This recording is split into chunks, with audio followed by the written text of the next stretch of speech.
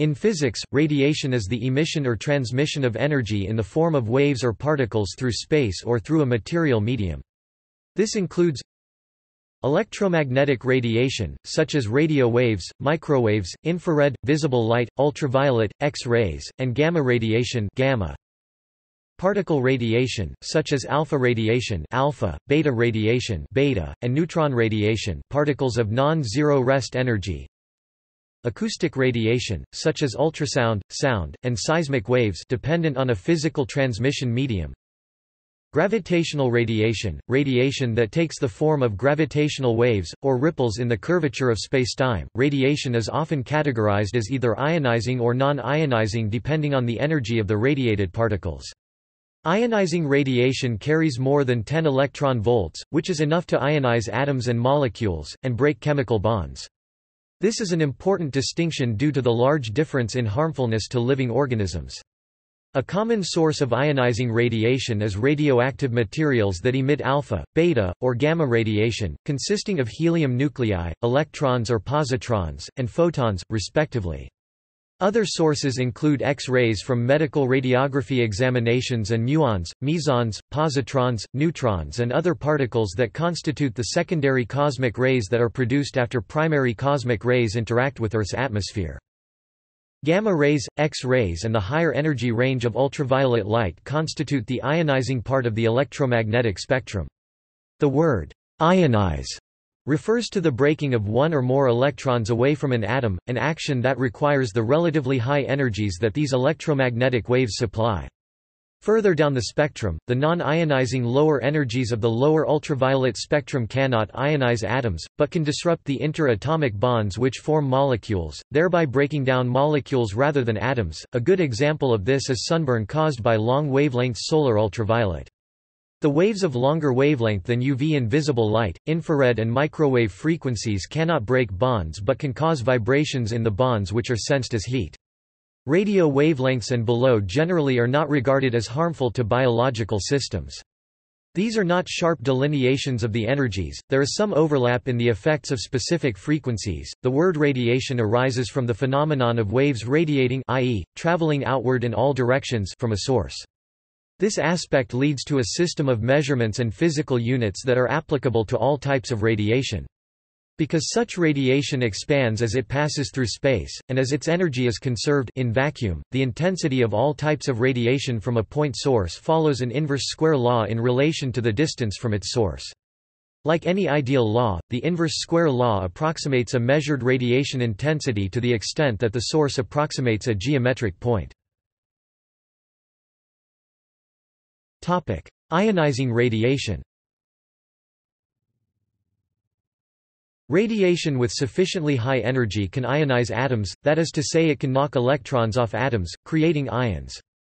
Ionization occurs when an electron is stripped or knocked out from an electron shell of the atom, which leaves the atom with a net positive charge. Because living cells and, more importantly, the DNA in those cells can be damaged by this ionization, exposure to ionizing radiation is considered to increase the risk of cancer. Thus, ionizing radiation is somewhat artificially separated from particle radiation and electromagnetic radiation, simply due to its great potential for biological damage. While an individual cell is made of trillions of atoms, only a small fraction of those will be ionized at low to moderate radiation powers. The probability of ionizing radiation causing cancer is dependent upon the absorbed dose of the radiation, and is a function of the damaging tendency of the type of radiation equivalent dose and the sensitivity of the irradiated organism or tissue effective dose. If the source of the ionizing radiation is a radioactive material or a nuclear process such as fission or fusion, there is particle radiation to consider.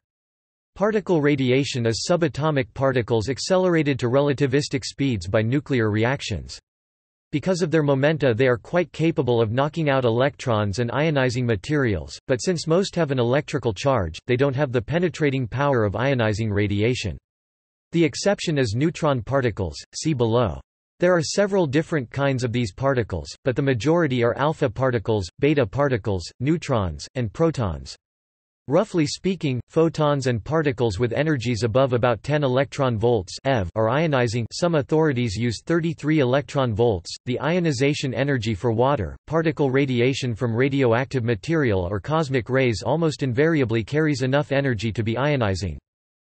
Much ionizing radiation originates from radioactive materials and space cosmic rays, and as such is naturally present in the environment, since most rock and soil has small concentrations of radioactive materials.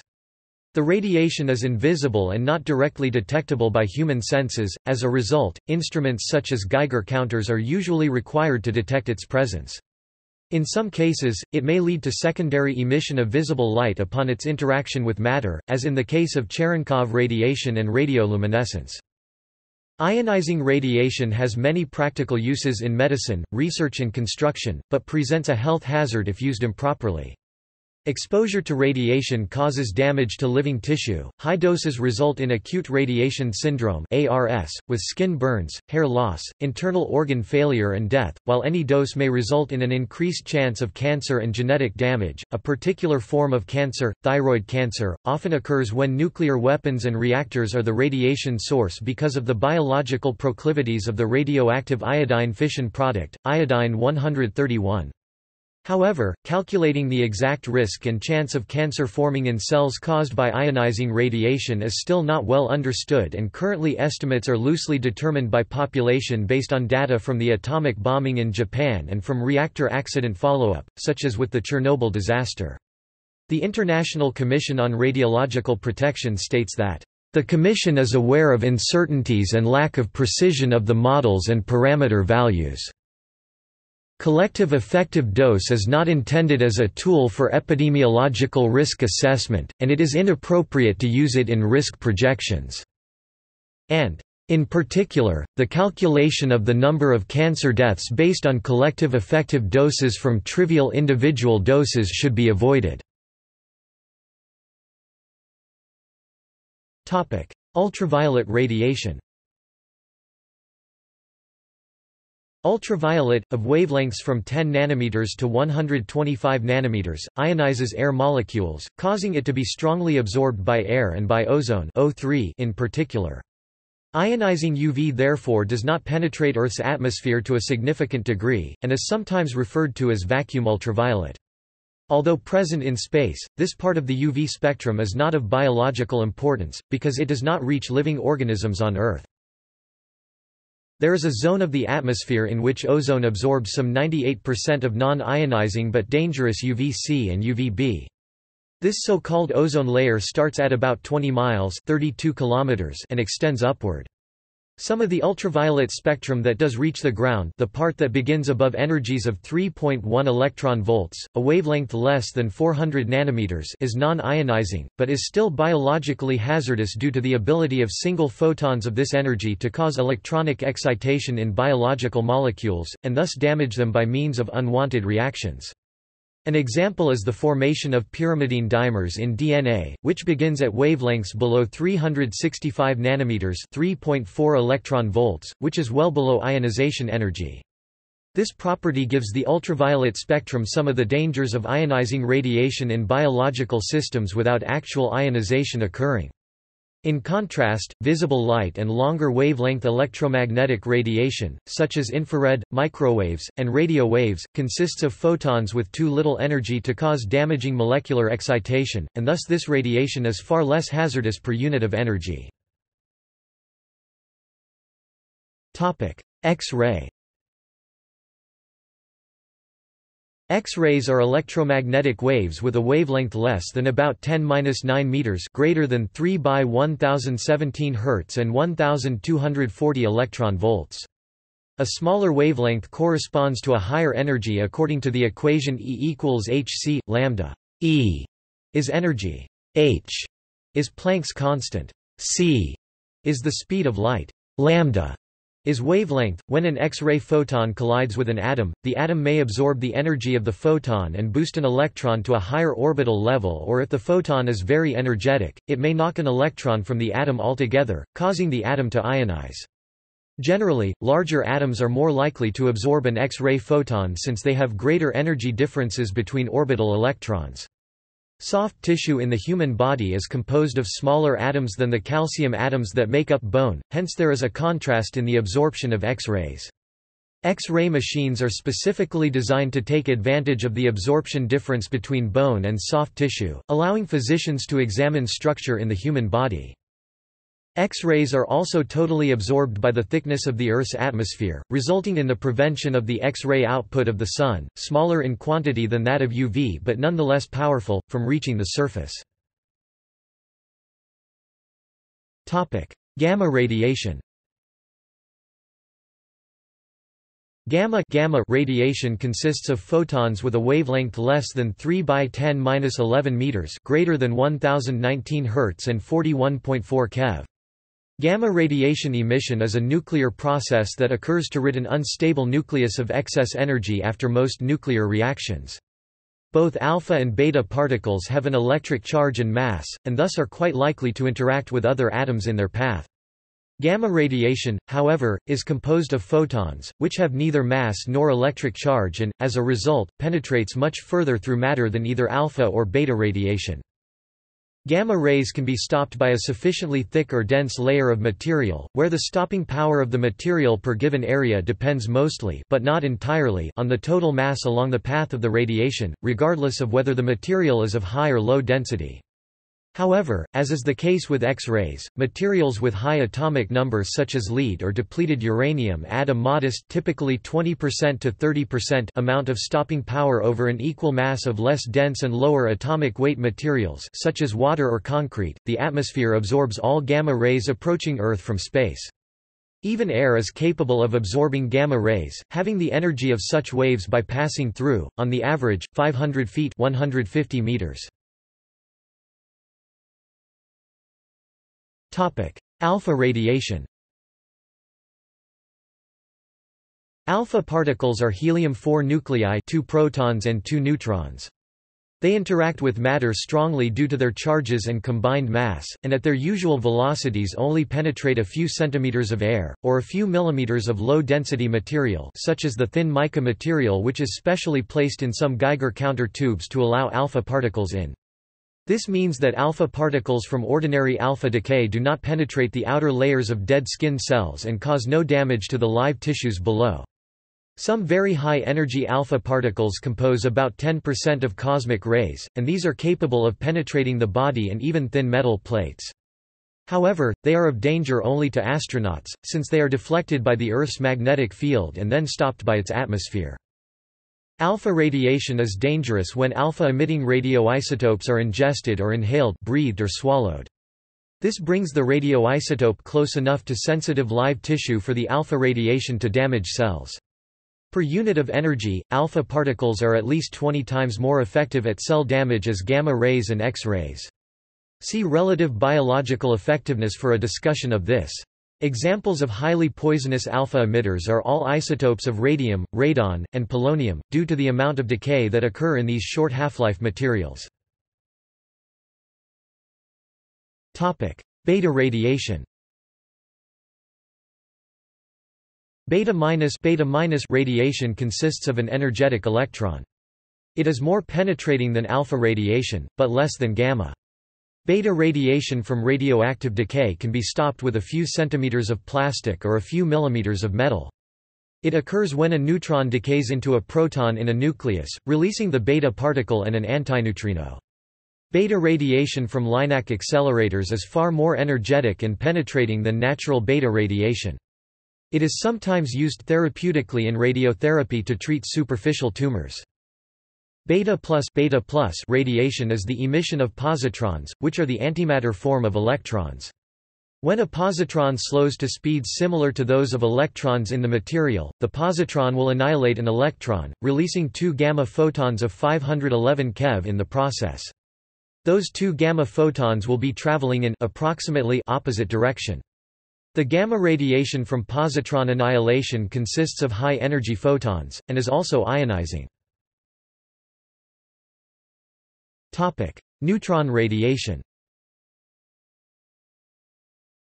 Neutrons are categorized according to their speed, energy.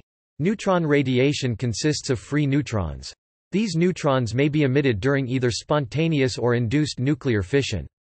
Neutrons are rare radiation particles, they are produced in large numbers only where chain reaction fission or fusion reactions are active, this happens for about 10 microseconds in a thermonuclear explosion, or continuously inside an operating nuclear reactor. Production of the neutron stops almost immediately in the reactor when it goes non-critical. Neutrons are the only type of ionizing radiation that can make other objects, or material, radioactive. This process, called neutron activation, is the primary method used to produce radioactive sources for use in medical, academic, and industrial applications. Even comparatively low-speed thermal neutrons cause neutron activation in fact, they cause it more efficiently. Neutrons do not ionize atoms in the same way that charged particles such as protons and electrons do by the excitation of an electron, because neutrons have no charge. It is through their absorption by nuclei which then become unstable that they cause ionization. Hence, neutrons are said to be indirectly ionizing. Even neutrons without significant kinetic energy are indirectly ionizing, and are thus a significant radiation hazard. Not all materials are capable of neutron activation. In water, for example, the most common isotopes of both types atoms present hydrogen and oxygen capture neutrons and become heavier but remain stable forms of those atoms. Only the absorption of more than one neutron, a statistically rare occurrence, can activate a hydrogen atom, while oxygen requires two additional absorptions. Thus water is only very weakly capable of activation. The sodium in salt as in sea water, on the other hand, need only absorb a single neutron to become Na-24, a very intense source of beta decay, with half-life of 15 hours. In addition, high-energy high-speed neutrons have the ability to directly ionize atoms.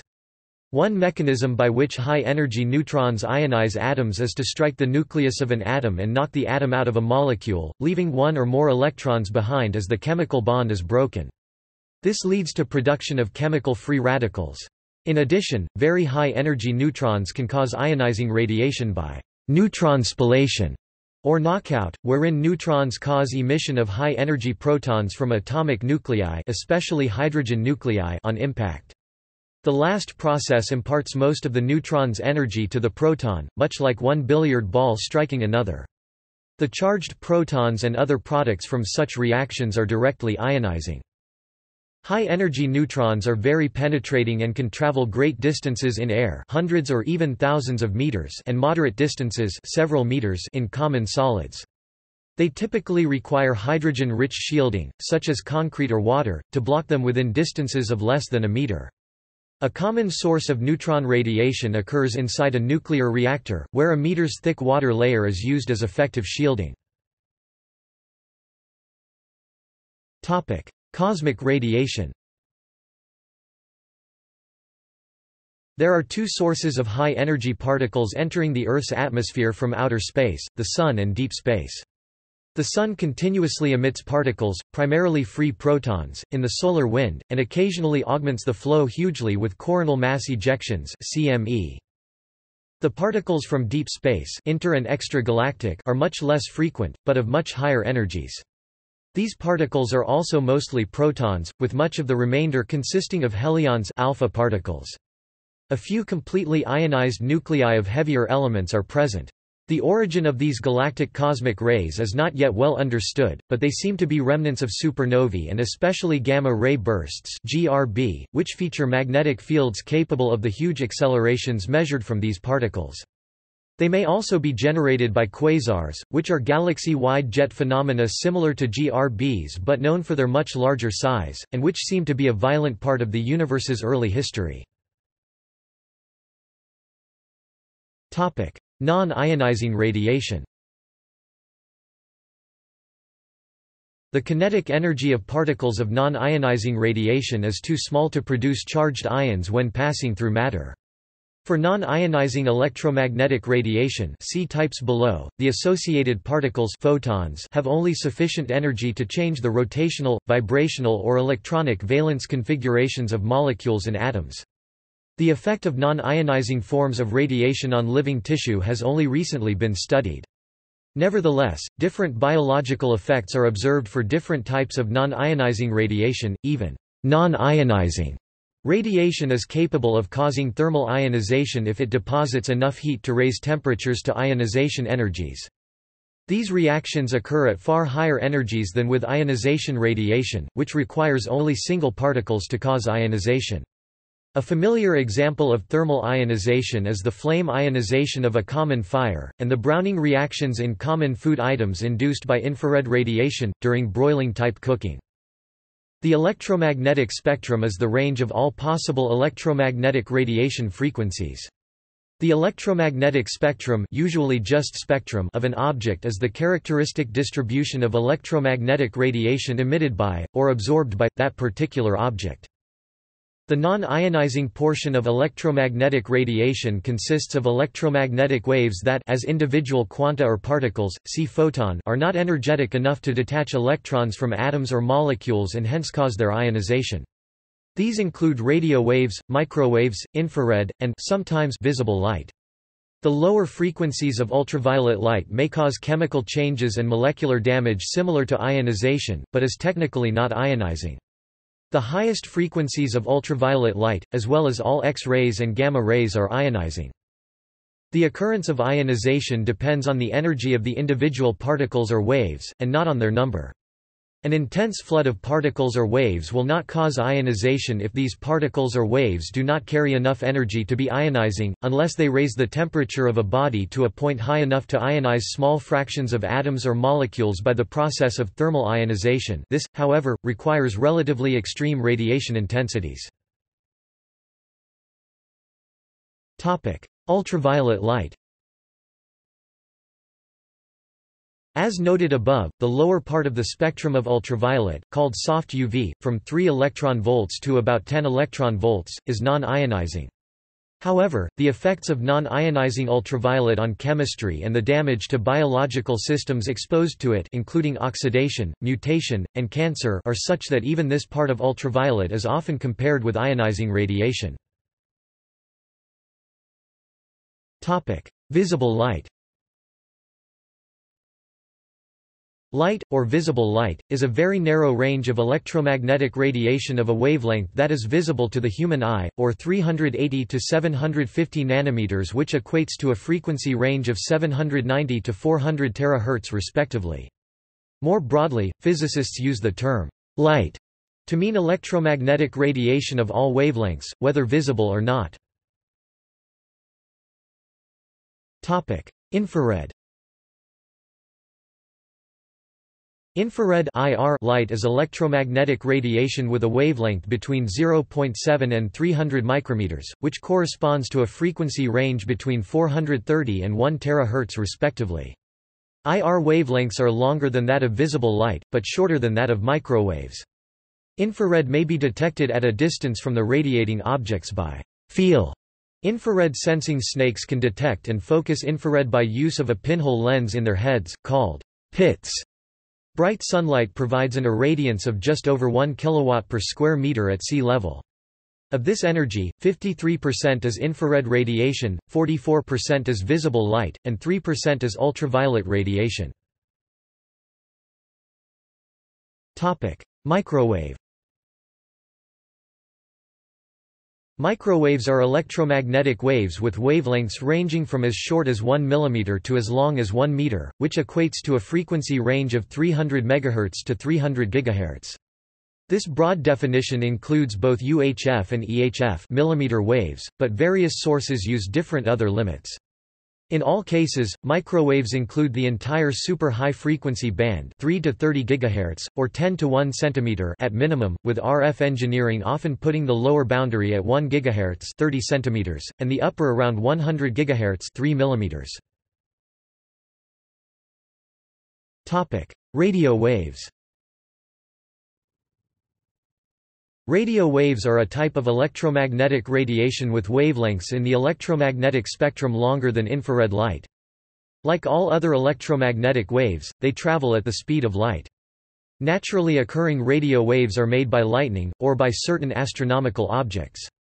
Artificially generated radio waves are used for fixed and mobile radio communication, broadcasting, radar and other navigation systems, satellite communication, computer networks and innumerable other applications. In addition, almost any wire carrying alternating current will radiate some of the energy away as radio waves, these are mostly termed interference.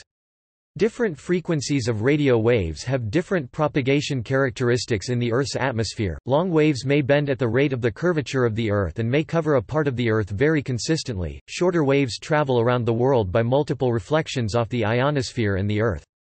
Much shorter wavelengths bend or reflect very little and travel along the line of sight. Very low frequency. Very low frequency VLF refers to a frequency range of 30 Hz to 3 kHz which corresponds to wavelengths of 100,000 to 10,000 meters respectively. Since there is not much bandwidth in this range of the radio spectrum, only the very simplest signals can be transmitted, such as for radio navigation. Also known as the myriameter band or myriameter wave as the wavelengths range from 10 to 1 myriameter an obsolete metric unit equal to 10 kilometers. Extremely low frequency. Extremely low frequency ELF is radiation frequencies from 3 to 30 Hz 108 to 107 meters respectively. In atmosphere science, an alternative definition is usually given, from 3 Hz to 3 kHz. In the related magnetosphere science, the lower frequency electromagnetic oscillations pulsations occurring below approximately 3 Hz are considered to lie in the ULF range, which is thus also defined differently from the ITU radio bands. A massive military ELF antenna in Michigan radiates very slow messages to otherwise unreachable receivers, such as submerged submarines. Topic: Thermal radiation heat. Thermal radiation is a common synonym for infrared radiation emitted by objects at temperatures often encountered on Earth. Thermal radiation refers not only to the radiation itself, but also the process by which the surface of an object radiates its thermal energy in the form of black body radiation. Infrared or red radiation from a common household radiator or electric heater is an example of thermal radiation, as is the heat emitted by an operating incandescent light bulb. Thermal radiation is generated when energy from the movement of charged particles within atoms is converted to electromagnetic radiation. As noted above, even low-frequency thermal radiation may cause temperature ionization whenever it deposits sufficient thermal energy to raises temperatures to a high enough level. Common examples of this are the ionization plasma seen in common flames, and the molecular changes caused by the browning during food cooking, which is a chemical process that begins with a large component of ionization. Black body radiation Black body radiation is an idealized spectrum of radiation emitted by a body that is at a uniform temperature. The shape of the spectrum and the total amount of energy emitted by the body is a function of the absolute temperature of that body. The radiation emitted covers the entire electromagnetic spectrum and the intensity of the radiation power, unit area at a given frequency is described by Planck's law of radiation. For a given temperature of a black body there is a particular frequency at which the radiation emitted is at its maximum intensity. That maximum radiation frequency moves toward higher frequencies as the temperature of the body increases. The frequency at which the black body radiation is at maximum is given by Wien's displacement law and is a function of the body's absolute temperature. A black body is one that emits at any temperature the maximum possible amount of radiation at any given wavelength. A black body will also absorb the maximum possible incident radiation at any given wavelength. A black body with a temperature at or below room temperature would thus appear absolutely black, as it would not reflect any incident light nor would it emit enough radiation at visible wavelengths for our eyes to detect. Theoretically, a black body emits electromagnetic radiation over the entire spectrum from very low-frequency radio waves to X-rays, creating a continuum of radiation. The color of a radiating black body tells the temperature of its radiating surface. It is responsible for the color of stars, which vary from infrared through red 2500 K, to yellow 5800 K, to white and to blue-white 15000 K as the peak radiance passes through those points in the visible spectrum. When the peak is below the visible spectrum the body is black, while when it is above the body is blue-white, since all the visible colors are represented from blue decreasing to red. Discovery. Electromagnetic radiation of wavelengths other than visible light were discovered in the early 19th century. The discovery of infrared radiation is ascribed to William Herschel, the astronomer. Herschel published his results in 1800 before the Royal Society of London. Herschel, like Ritter, used a prism to refract light from the Sun and detected the infrared beyond the red part of the spectrum, through an increase in the temperature recorded by a thermometer. In 1801, the German physicist Johann Wilhelm Ritter made the discovery of ultraviolet by noting that the rays from a prism darkened silver chloride preparations more quickly than violet light. Ritter's experiments were an early precursor to what would become photography. Ritter noted that the UV rays were capable of causing chemical reactions. The first radio waves detected were not from a natural source, but were produced deliberately and artificially by the German scientist Heinrich Hertz in 1887, using electrical circuits calculated to produce oscillations in the radio frequency range, following formulas suggested by the equations of James Clerk Maxwell. Wilhelm Röntgen discovered and named X-rays. While experimenting with high voltages applied to an evacuated tube on 8 November 1895, he noticed a fluorescence on a nearby plate of coated glass. Within a month, he discovered the main properties of X-rays that we understand to this day. In 1896, Henri Becquerel found that rays emanating from certain minerals penetrated black paper and caused fogging of an unexposed photographic plate. His doctoral student Marie Curie discovered that only certain chemical elements gave off these rays of energy. She named this behavior radioactivity. Alpha rays alpha particles and beta rays beta particles were differentiated by Ernest Rutherford through simple experimentation in 1899. Rutherford used a generic pitchblende radioactive source and determined that the rays produced by the source had differing penetrations in materials. One type had short penetration it was stopped by paper and a positive charge, which Rutherford named alpha rays. The other was more penetrating able to expose film through paper but not metal and had a negative charge, and this type Rutherford named beta. This was the radiation that had been first detected by Becquerel from uranium salts. In 1900, the French scientist Paul Villard discovered a third neutrally charged and especially penetrating type of radiation from radium, and after he described it, Rutherford realized it must be yet a third type of radiation, which in 1903 Rutherford named gamma rays. Henri Becquerel himself proved that beta rays are fast electrons, while Rutherford and Thomas Royds proved in 1909 that alpha particles are ionized helium. Rutherford and Edward Andrade proved in 1914 that gamma rays are like X-rays, but with shorter wavelengths. Cosmic ray radiations striking the Earth from outer space were finally definitively recognized and proven to exist in 1912, as the scientist Victor Hess carried an electrometer to various altitudes in a free balloon flight. The nature of these radiations was only gradually understood in later years. Neutron radiation was discovered with the neutron by Chadwick, in 1932. A number of other high-energy particulate radiations such as positrons, muons, and pions were discovered by cloud chamber examination of cosmic ray reactions shortly thereafter, and others types of particle radiation were produced artificially in particle accelerators, through the last half of the 20th century. Uses Medicine Radiation and radioactive substances are used for diagnosis, treatment, and research. X-rays, for example, pass through muscles and other soft tissue but are stopped by dense materials. This property of X-rays enables doctors to find broken bones and to locate cancers that might be growing in the body. Doctors also find certain diseases by injecting a radioactive substance and monitoring the radiation given off as the substance moves through the body. Radiation used for cancer treatment is called ionizing radiation because it forms ions in the cells of the tissues it passes through as it dislodges electrons from atoms. This can kill cells or change genes so the cells cannot grow. Other forms of radiation such as radio waves, microwaves, and light waves are called non-ionizing.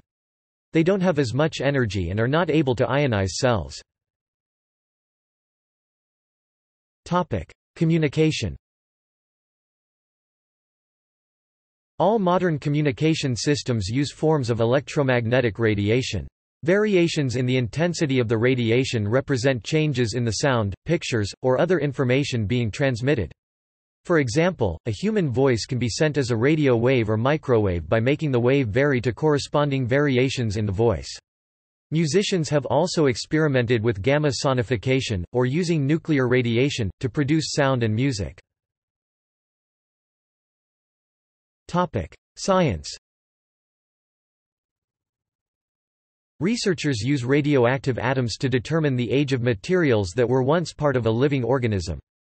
The age of such materials can be estimated by measuring the amount of radioactive carbon they contain in a process called radiocarbon dating. Similarly, using other radioactive elements, the age of rocks and other geological features even some man-made objects can be determined, this is called radiometric dating. Environmental scientists use radioactive atoms, known as tracer atoms, to identify the pathways taken by pollutants through the environment. Radiation is used to determine the composition of materials in a process called neutron activation analysis. In this process, scientists bombard a sample of a substance with particles called neutrons. Some of the atoms in the sample absorb neutrons and become radioactive. The scientists can identify the elements in the sample by studying the emitted radiation. Topic see also topic Notes and references topic External links Radiation on In Our Time at the BBC Health Physics Society Public Education website Ionizing radiation and radon from World Health Organization Q&A, Health Effects of Radiation Exposure, BBC News, 21 July 2011